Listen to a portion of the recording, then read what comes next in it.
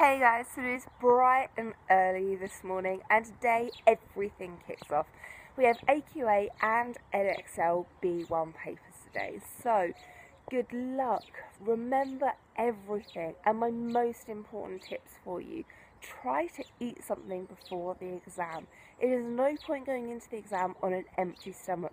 Your brain will just not function. Remember, as you're going into the exam, there are going to be negative people. There are going to be people getting you down. Just ignore them. Focus on what you are doing. You have put so much hard work into this.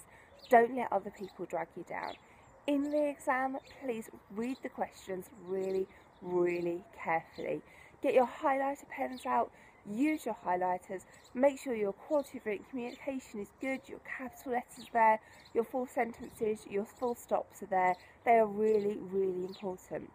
Remember, biology, they love to give you graphs, they love to get you to analyse graphs. So, think carefully about things. If they're asking you to compare two lines, maybe highlight these two lines in two different highlighter pen colours. This will really, really help you see the differences. Remember to give example data in your answers because the examiners love that. And after the exam, just take a few minutes and relax before you start your next set of revision. And do not stress over the exam once it's finished. There's nothing you can do about it afterwards, so there's no point comparing what you've got with other people. So, everything kicks off today, guys. Good luck. Remember, I'm here to help you with anything that you need. So, any questions you've got, just put them in the comments below, and I'll do my very, very best to answer them.